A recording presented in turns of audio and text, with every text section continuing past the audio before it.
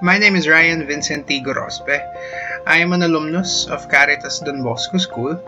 I graduated in the year 2018 and I am part of the first cohort of senior high school graduates. I am currently a student of the Ateneo de Manila University pursuing a bachelor's degree in political science. I studied in CDBS for more or less 13 years. I started their prep, which I believe now is called senior kinder, and stayed there until I graduated grade 12. So, one can say that practically my character as an individual was formed there. But beyond the academics, I believe that the institution has helped me form my character.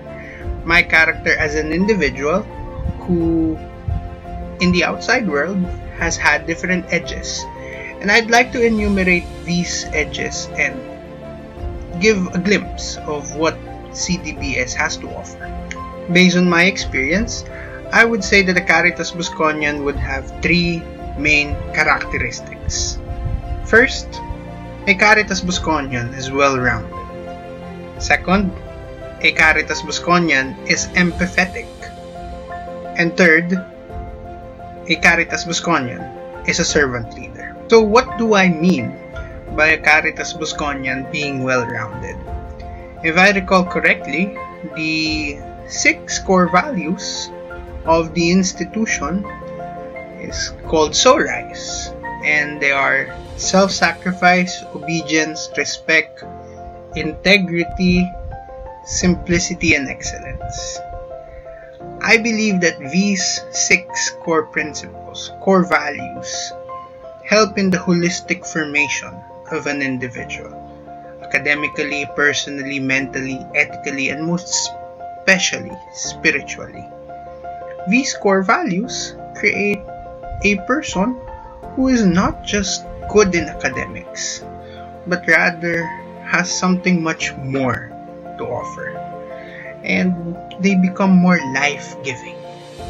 And I believe that that is one of the missions and one of the visions of the institution to become global, life giving servant leaders. Second is empathy.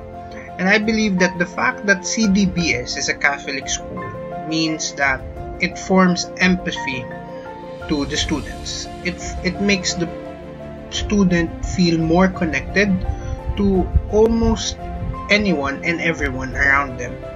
Uh, Don Bosco's preventive system creates a close relationship between the teacher and the student, but of course, maintaining boundaries. And perhaps in these boundaries, uh, we create an empathetic environment wherein you understand my situation and teacher or the student also understands the other situation. It's a give and take relationship, and perhaps that is what forms us. Uh, another fact about it is that CDBS teaches technical skills as well. And once we garner these technical skills, we become more empathetic to how other people feel. So, there's drafting, how some of us really, really did not like it, but in the end, we loved it. And we have an edge. Somehow, we have a basic understanding of drafting. TLE for that matter. We know how to cook. We know how to wash the dishes.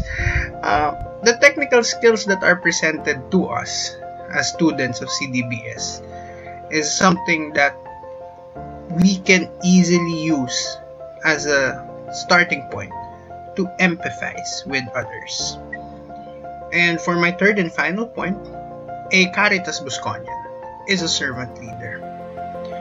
We create more leaders. Yes, as leaders, we go to the front, we lead them, we direct them on what to do. But once the ball gets to start rolling, we stop as the leader to check if everyone is on board. We stop to let other people lead. We stop to guide the least.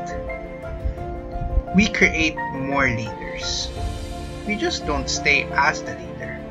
We bring out more leaders. And I believe that that is one key principle in CDBS that I have brought with me. I prefer to serve and lead at the same time, not just to always lead, rather to serve as well. And I think those three main points are the edges, perhaps, of one being a Caritas Bosconian.